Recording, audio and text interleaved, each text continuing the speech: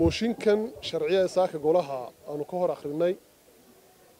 Waa mooshin lagu ilaalinayo xuquuqda xirfadlayaasha bahda saxaafadda somalilan gaar ahaan saxaafadda madaxa bannaan oo shantii sanno u dambeysay runtii tacadiyo fara badan la kulmayey waxay ummadda somalilan iyo duniduba la socotaa saxaafadda somalilan inay door muhiima ka ciyaartay iibinta dimuquraadiyadda nabadda wadajirka horumarka iyo sharafta qaranka jamhuuriyadda somalilan uu leeyahy muddada ka horna in dadku ay nabadgelyo qaataan oo somalilan unkankeedii runtii kaalin mugyo miisaan leh ay kaga jirtay saxaafaddu cidnaba kamay qarsoonayn intan dambe waxaa dhacday xeer ilaaliya saxaafadda xuquuqdooda dhowra oo cid xidhi kartaa ayna jirin oo sife sharciga waafaqsan lagu xidhi karayo ayaan dalka ka jira xeer qabyo qoraala baa jiray.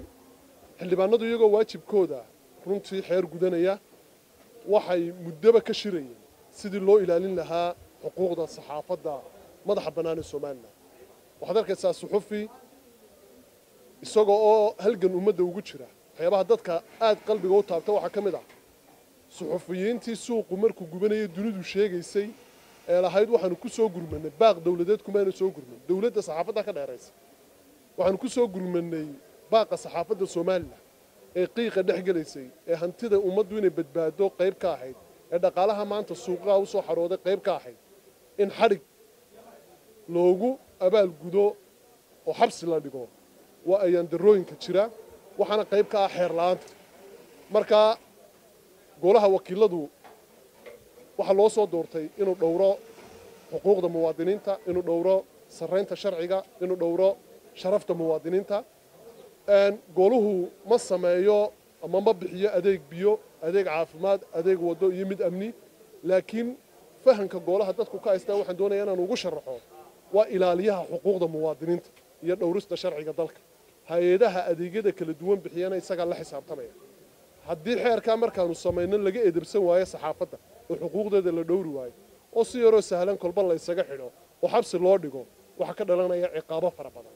Waan rajaynayaa goloweynuhu xildhibaanada labiyo siddeetanka ah ayaa libinta maanta wada yeelanaya cid gaari kuma suntanaanayso dhowr iyo tobanka xildhibaana mooshinka soo gudbiyena si gaaraan ugu hambalyeynayaa mooshinkana ciddii aan ka qayb gelinina mar labaad ka qayb gasho waa muhiim waxaa jirta oon doonaynaa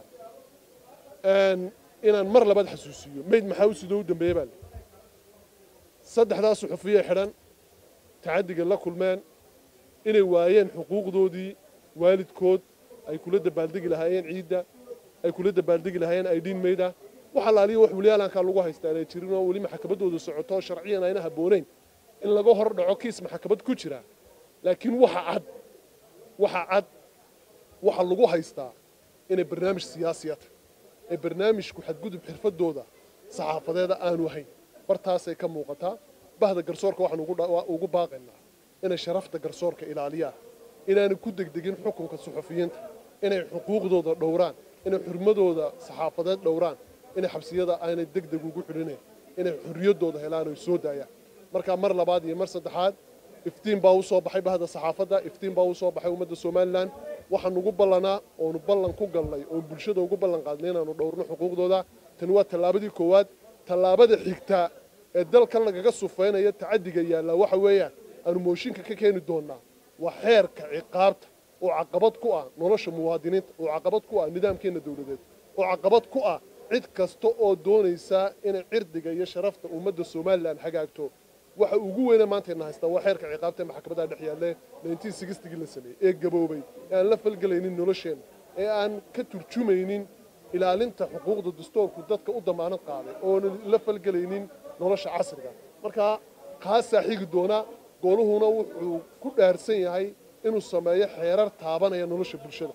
Hadday biyaha noqoto hadday waddooyinka noqoto hadday caafimaadka noqoto intaaba wixii mas'uuliyaddeeda naga saaray mas'uul kastoo xil xukuumadda ka hayaana maskaxdiisa ha geli inaanu golahani goolihii hore ahaan doonine in lala xisaabtami doono goolweynaha la soo fogaaro joojin doono.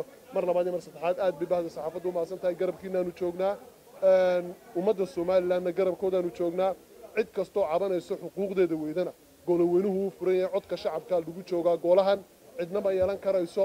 Soo dhowaada dahabshiil. Oo la jaan qaadaya isbeddelka tiknolojiyadda kuna fududaynaya hannaanka aad lacag u diri karto. Waxa uu hadda kuu soo kordhiyey in marka aad lacag dirayso aad ku bixin karto kaadhkaaga bangiga dhammaan xarumaha dahabshiil ee qaaradda yurub. Abka dahabshiil oo aad kala soo degi karto blay store iyo abstore ayaa kuu sahlaya in meel kasta oo aad joogto aad lacagaha si fudud uga diri karto. Sidoo kale websayteka dahabshiil ayaad si fudud lacag uga dhex diri kartaa goob kasta iyo goor kasta lacag kasta oo aad dirto. Waxa uu qofkaad lacagta u dirtay sikima gudahoodu ku helayaa adeegga iidahab ee moobilkiisa gacanta. Waxaa loogu shubi karaa akoonkiisa bangiga dahabshiil amaba waxa uu ka qaadan karaa dhammaan ballaamaha dahabshiil ee dunida dacaladeeda dahabshiil howlfudaydyahaaga maaliyadeed